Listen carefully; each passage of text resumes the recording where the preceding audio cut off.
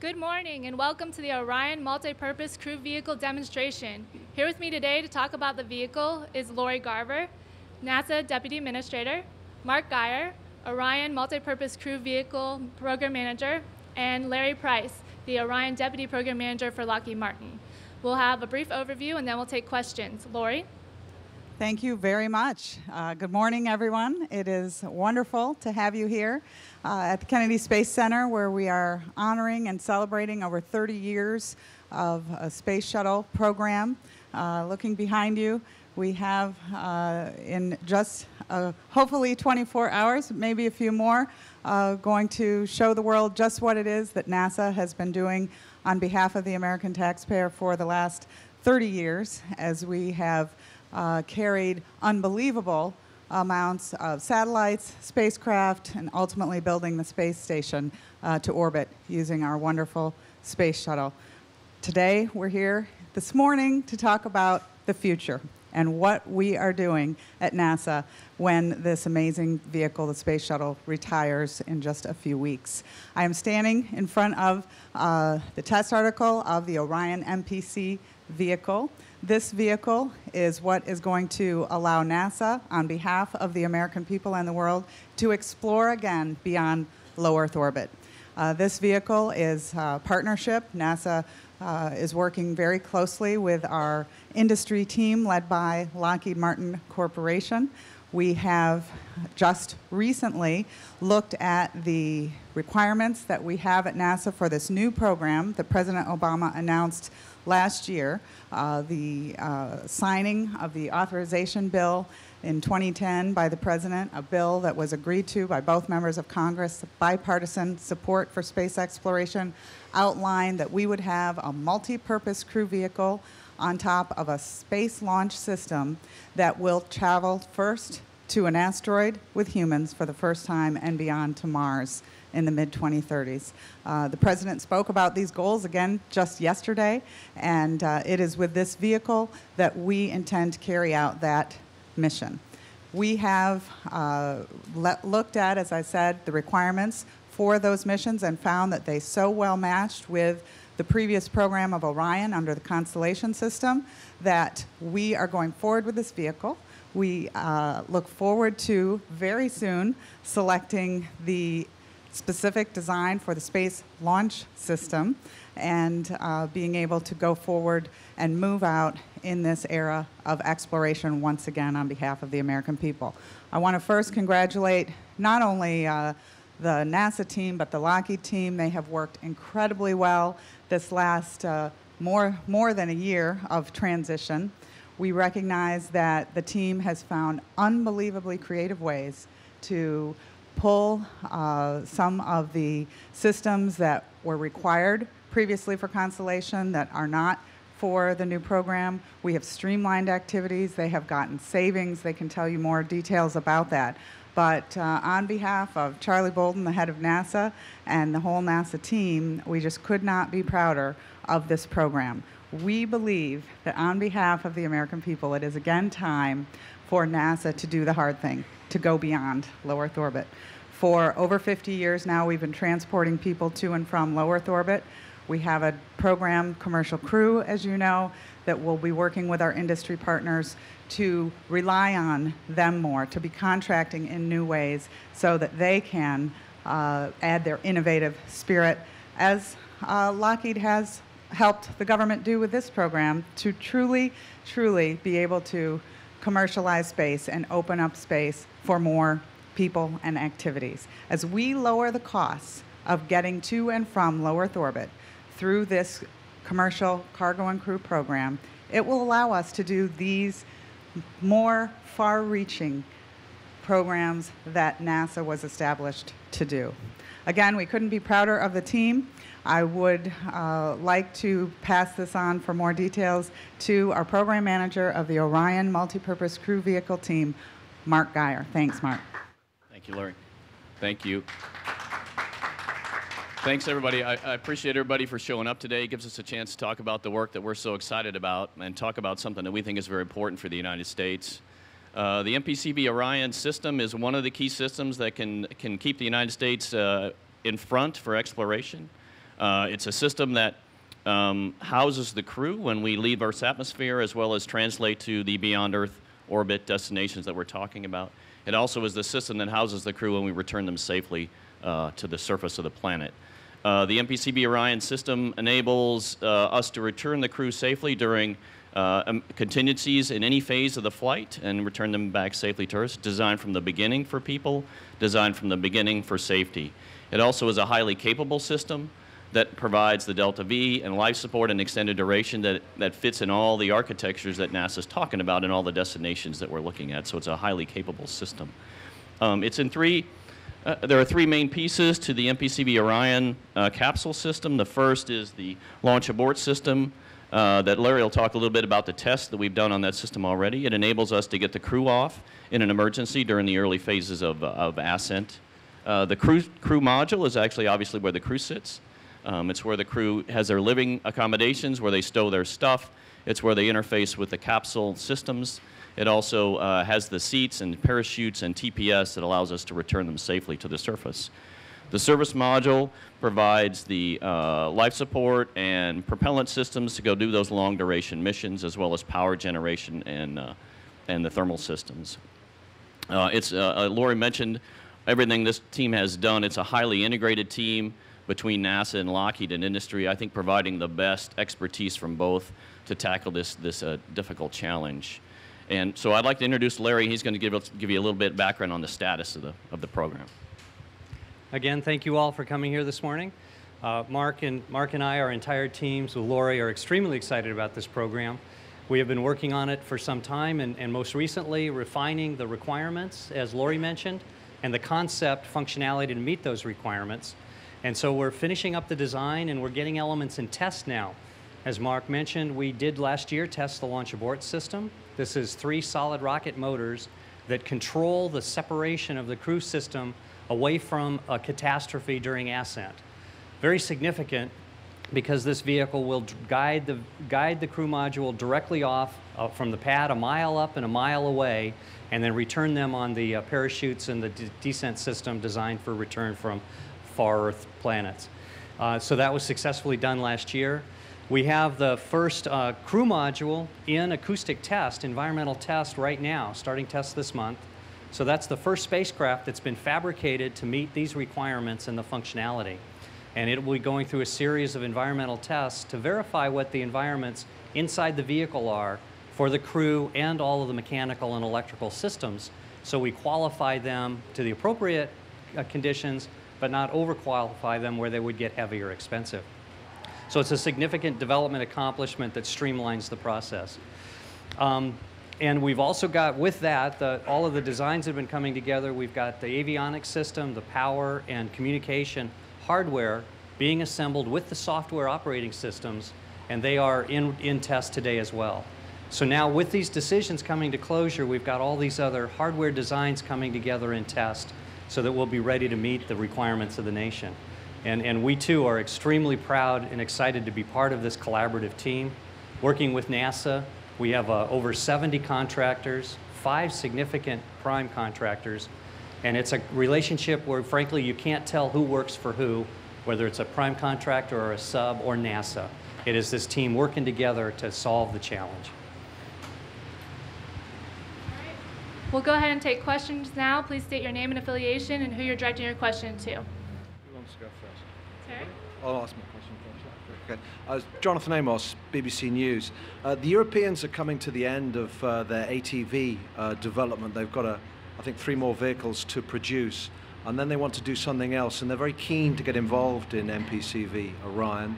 I know you've had a couple of discussions with them about that. What exactly could the Europeans do to get involved in this? Okay. Um, so, you know, one of my jobs is to give my boss lots of options. Uh, when we have a, a, as Lori said, the budget, uh, we need to be looking at smart ways of doing things, being affordable, and one, one of the things is to look at other opportunities for people providing parts of the system. Um, ESA obviously has capability. They've done things on space station. So we've had very early discussions. I want to characterize that as uh, it's one of the many things we look at to enable uh, flying as early as possible and doing the most um, for this country. So it's one of the things we're doing. On they have some ideas on what they could provide, and so we've had a couple of meetings about what the requirements might be and what the deal might look like. So I would characterize it as very early discussions. What's, what sort of systems could they provide? I mean, Well, uh, we know we know that they've you know you look at ATV and HTV that have flown to space station. They have propulsion, guidance, rendezvous and docking, uh, consumables, those kind of things. They have a lot of experience in those systems, and they've done things on space station, computers and other things that were a big part of space station's success. So they obviously have uh, skills.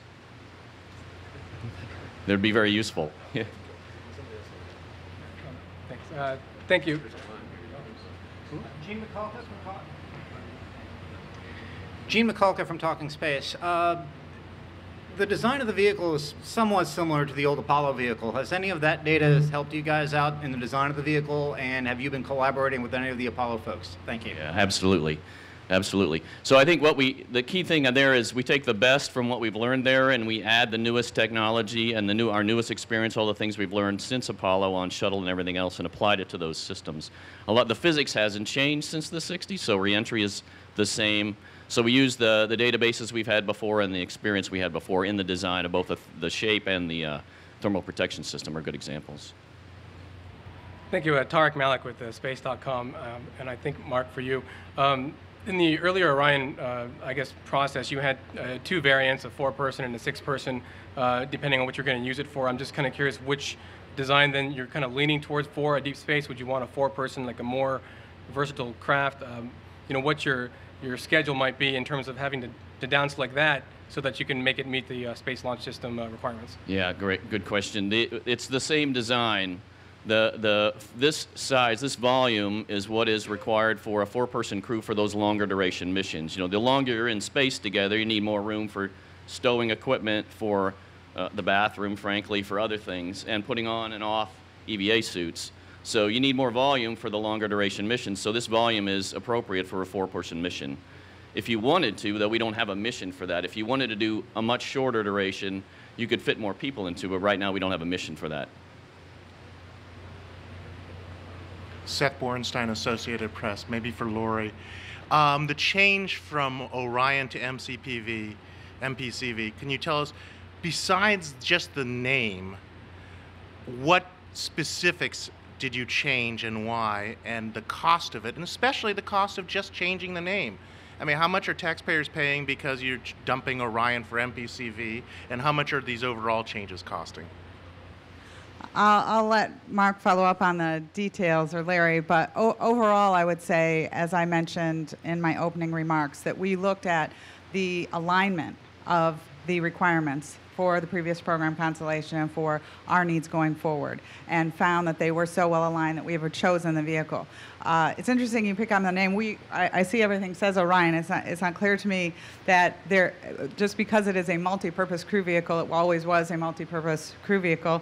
Uh, we will be looking, I think, as we transition to new programs, what it is uh, that will identify with this vast new exploration program we have, but uh, naming is not really something that we've been hung up on in any way. We're happy, happy to be with the Orion team here and uh, just clarifying because the law, the actual law, said we would develop a multi-purpose crew vehicle. I don't think the law meant to name something, uh, just to describe it.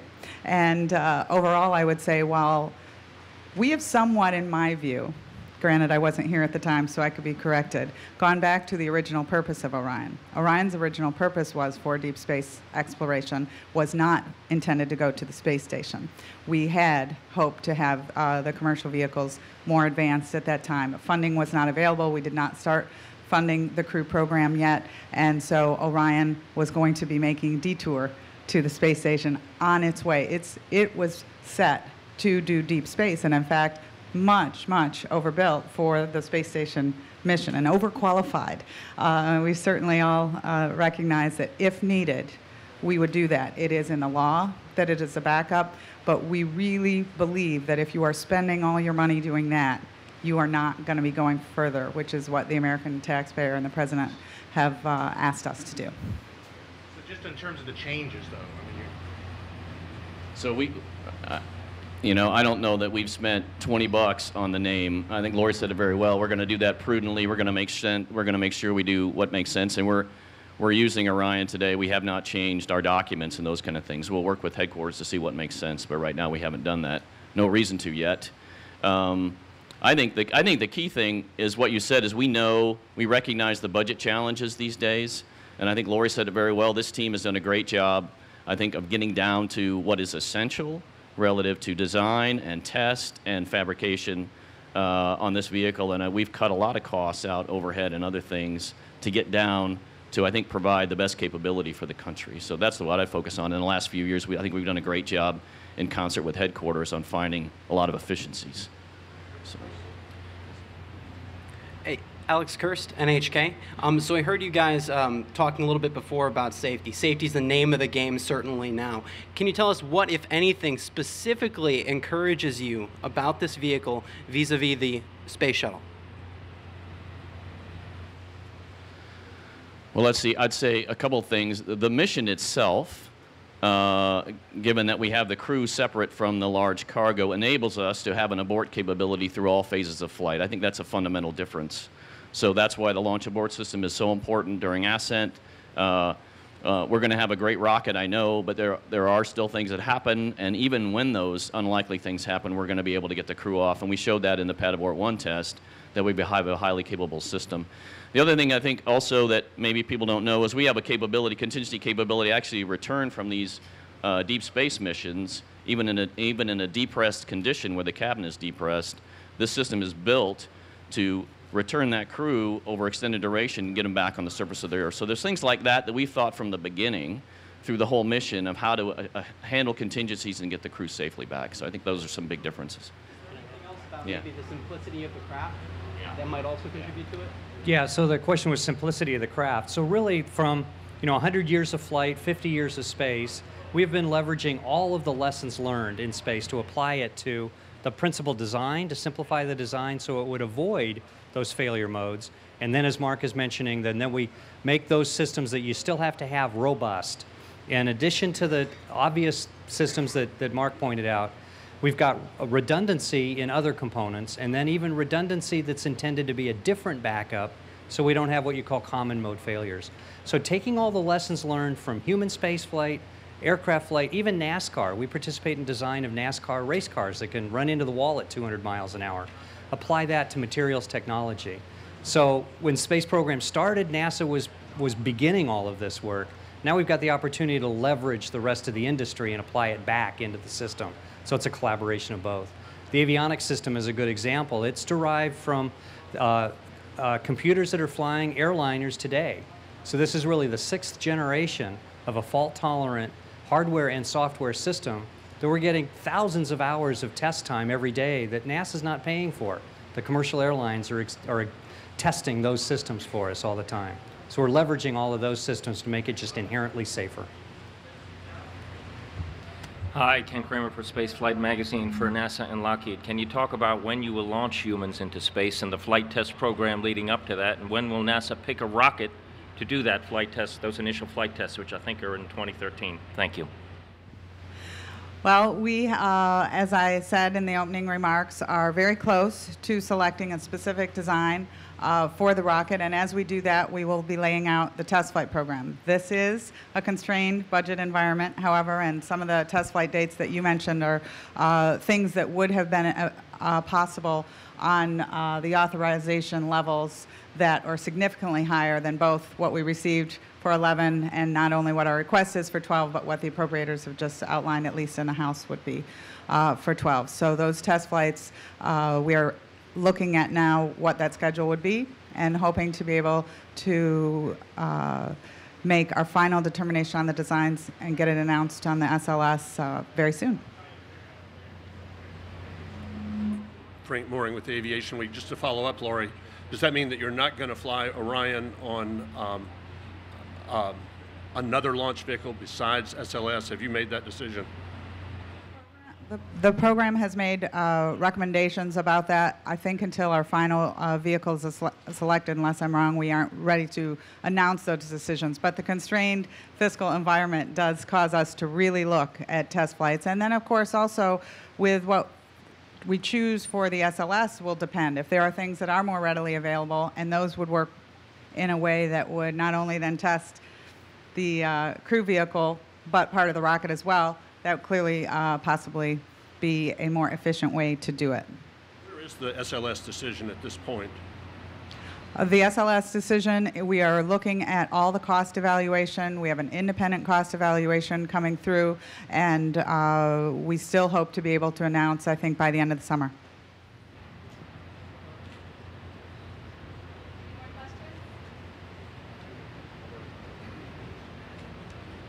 Uh, Jim Siegel with the Celebration Independent newspaper. Um, there are, uh, you, you mentioned earlier, Lori, about the constrained budget situation that the country faces right now. So, how would you answer uh, those who would question uh, why should we be spending uh, this money uh, today for deep, deep space exploration? I mean, besides just being first, what, what's in it for the taxpayer? Thank you. I guess I challenge uh, folks who believe that we shouldn't be spending money on space to recognize that all this money is spent here on Earth, that every penny of the taxpayers' dollars that has been spent toward NASA and these unbelievable programs has gone to jobs in this country, folks who have uh, developed technologies who have then come off and developed new markets uh, and created even more jobs to help our economic growth. Aerospace industry is still one of the last remaining export industries in this nation that has created unbelievable uh, wealth and growth for our country. In addition, the leadership of great nations explore. This is what we do as a nation. We in the United States are explorers. We can't wait to get back to exploration beyond low Earth orbit, but I would challenge you to say that we are exploring on the International Space Station. The space shuttle has been an exploring vehicle. It's a little tough to have people believe we're trapped in low Earth orbit when we realize how amazing it is to be able to get there with this vehicle uh, that we will hopefully be launching tomorrow. The International Space Station is developing not only the types of technologies and information we know, need for NASA to go further, we are developing technologies that are used right here on planet Earth through medical technologies, uh, materials. We, we have made advancements in uh, computer technology, miniaturization from the space program that has led to the innovation that has made this country great. NASA is that very, very small part of the government funding that is an investment in our future. And through developments in aeronautics, earth sciences, the ability to have satellites that are going to help us determine what it is in store for our planet in the future, you cannot put a price on that. And I can't complete my answer without talking about the fact that NASA was born of the Cold War, won the Cold War, has opened up the world for this peaceful, cooperative relationship we have with the former Soviet Union. While we don't want to count on the Soyuz, the Russian vehicle, for our transportation services any longer than we have to, the fact that we have this partnership with Russia that has allowed us to work together peacefully, how can you put a price tag on that? That is what NASA has given to the world. And it's a privilege to be part of the group that has done it. And uh, while we spent 4% of the budget during Apollo, we do it for less than half a percent now. And uh, the men and women of NASA, the contractor team, university team, have been doing this so that we, our children, our grandchildren, can have a better future. It's uh, nothing short of, in my view, the very best investment that the taxpayer makes uh, in the in the country. Could I try to add just a little bit, Lori? So, so we do this because we're engineers and we love building these marvelous machines and the people we deal with. But the flight test article, we transported it from California recently so we can use it in production Pathfinder testing today. But we had the opportunity to make a few stops across the country. And I participated in the stop in Austin. And in two days, they had 10,000 people just stop by the vehicle in Austin. They just wanted to touch it. They just wanted to hear that we were doing, that we were doing this as a country, going on and exploring. And, and they had no vested interest right in Austin. They were just excited about it. So I think the grassroots, everyone we talk to, children and youth that are excited about being astronauts, are coming up to us every day and want to participate. NASA has high school interns that are participating in this program that are excited. They participated in the, the Rendezvous and Proxop demo on the last shuttle flight. High school kids that are sitting on console during the summer. And the Congress, you all know, is very supportive of it. Yes, it's expensive. Yes, the economy is tight. But the spin offs and the inspiration that this creates is phenomenal. Any more questions? Yeah, hi, Mike Wall from Space.com. Um, so, so yeah, people people are used to seeing the space shuttle as sort of, I mean, our iconic space vehicle for this country. And this, I mean, it looks back like it like it seems like we're sort of going back in time with this design. And so, um, yes, what would you say to folks who who would say, well, this this looks like old technology. It looks like I don't know 60s era technology. How has it sort of been adapted for the 21st century? And also, do you guys have any plans to to sort of give this like, I don't know, could it actually land on an asteroid, this vehicle? Or, I mean, do you have any plans to actually put that capability in sometime? Yeah, so I think, you know, part of it is, again, the physics doesn't change, so you have to look beyond the shape uh, to understand the technology that's in this vehicle. So as Larry mentioned before, we've used the state of the art in other industries, so we're not starting from the beginning, and then accelerated it and added the capabilities we need to do this deep space mission. So it is advanced technology for the, for the thermal protection system, the launch abort system, the avionics, uh, all the life support systems that are part of keeping the crew alive are not systems that we pulled from Apollo, obviously, right? This is stuff we've learned from Apollo, advanced in both other industries as well as the shuttle, and now apply to this system. Um, as far as the, the, the, NEO missions, there are other capabilities you could do as we get close to the NEOs. There's a couple of ways where you could actually get to the surface uh, EVAs, or another vehicle that would allow the crew to, to descend down to the surface. You wouldn't actually dock uh, with this particular vehicle. But this gets them there and allows them to get home. I'll mention uh, the iconic image of the space shuttle, and I do believe it is something that the public has related to, similar to sort of that footprint on the moon and uh, we'll have flying vehicles with wings in the future. We'll have footprints on the moon in the future. But this is using what we've learned. One of the earlier uh, responses to the question about why uh, this vehicle is safer and why we're more, uh, comfortable with it than the space shuttle is. You know, Apollo was the way it was for a reason. This is going into deep space. The shuttle could not do that. And in fact, the uh, possibilities of being able to escape at any moment are something that we just need to require. We learn that uh, we shouldn't be carrying the large uh, payloads with the crew, as was a CAIB recommendation. These are things we put into place. So yes, we will always have the shuttle iconic image. We, we really need to recognize the space station is an iconic image. I know we don't see it physically as uh, it launches and lands, uh, as it did that in pieces. But I don't know. I assume all of you, like like me, do track it and go overnight and see that uh, beautiful bright object in the sky go overhead uh, and recognize we have women and men living in space permanently. We are spacefaring civilization, and uh, with this vehicle, it is going to allow us to continue uh, to explore. I'm waiting. I'm Bill Cap. All right, there we go. I'm Bill Capo from WWL TV in New Orleans, and uh, my guys had a little trouble getting uh, in position. I'm waiting for a second for him to get in position. That, of course, is where the external tank. There we go. This New Orleans is where the external tanks have been built, and there's a lot of uh, angst and concern in New Orleans about what the future of spaceflight is. Uh, we've run into people here uh, who helped build those tanks, who are very worried. Uh, you can see he's getting his microphone in place. Um, they're, they're very worried about what the next step will be and whether New Orleans will have a role in that.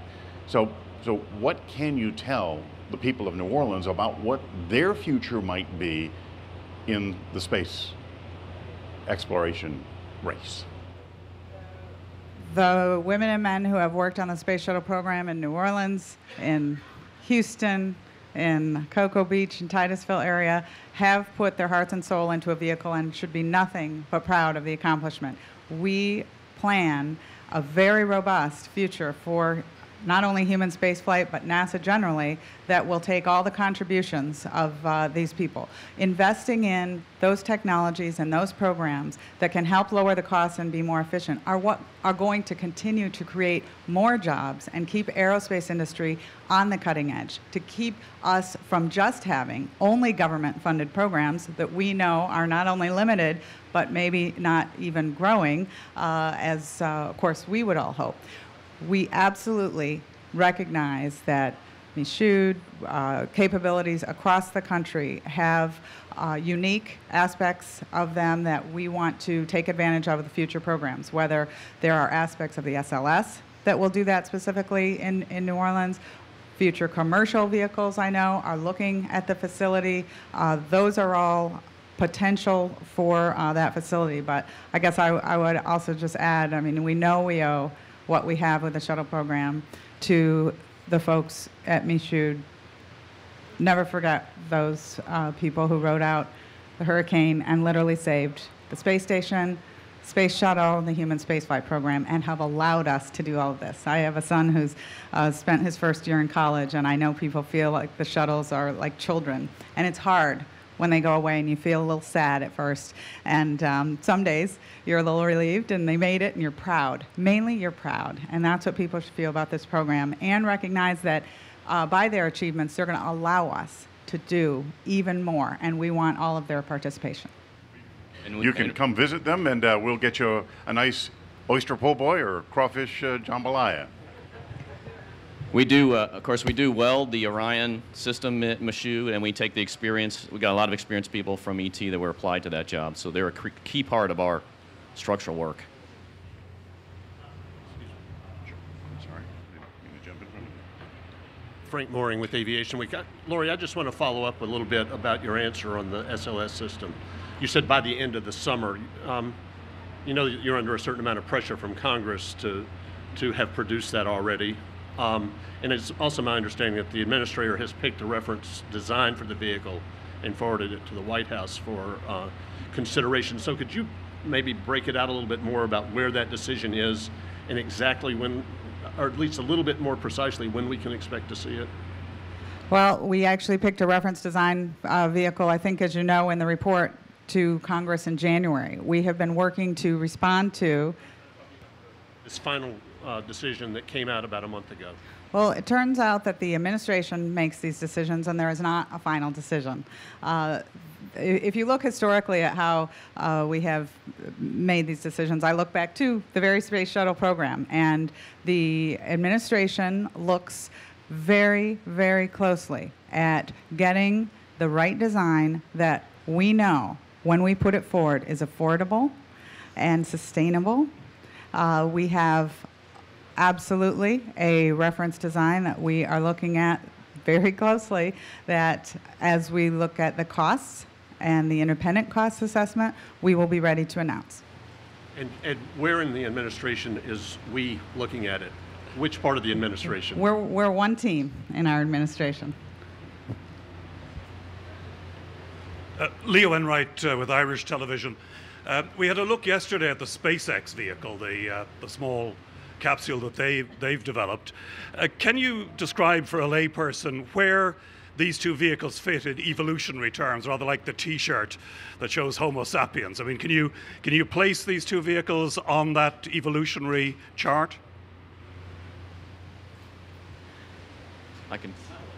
Uh, I, I, I'm I less compared to evolution than those types of technologies that once you develop them become operational while you still develop the next. So if we are looking at things we've done for 50 years, which is go to and from low Earth orbit, uh, launching people and things, we know that we have uh, for decades now done that with the private sector.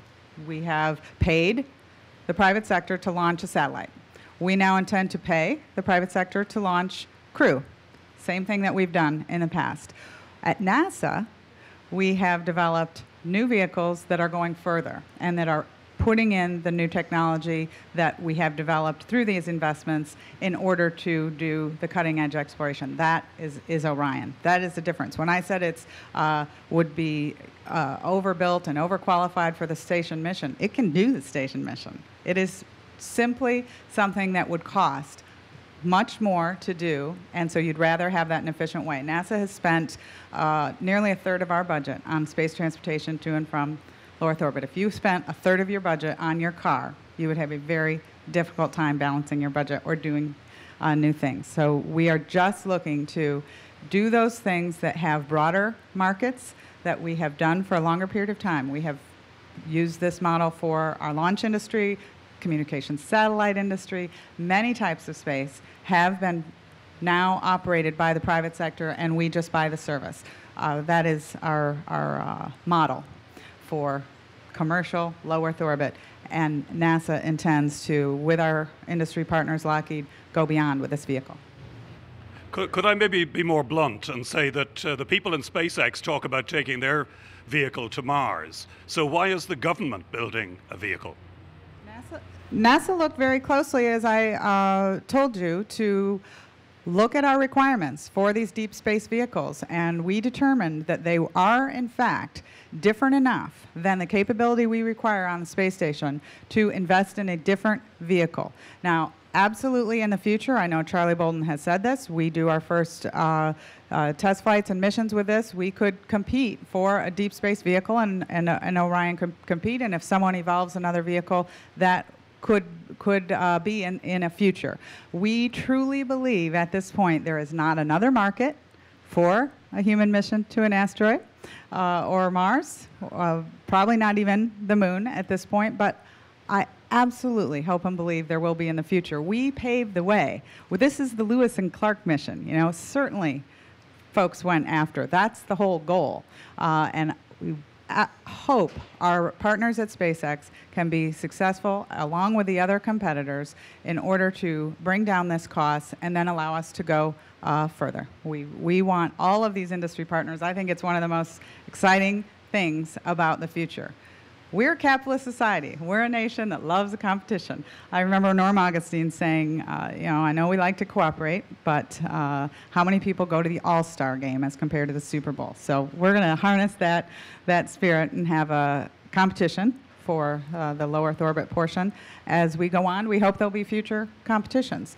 Uh, the very first question was about international partnership and what they could add specifically to this. And while I wanted Mark to answer the specifics of it, I do want to be clear the National Space Policy is extremely forward leaning on working with our international partners as we go further and explore. We believe that exploration is uh, not only an American dream, but a human drive of our spirit. And we believe that as we go, uh, not only to the asteroid mission, but to Mars, that we will be doing that uh, with international partners. That's all the time we have. Um, the next event on NASA TV will be the Countdown Status Briefing at 10 a.m. For more information, go to www.nasa.gov. Thank you for joining us.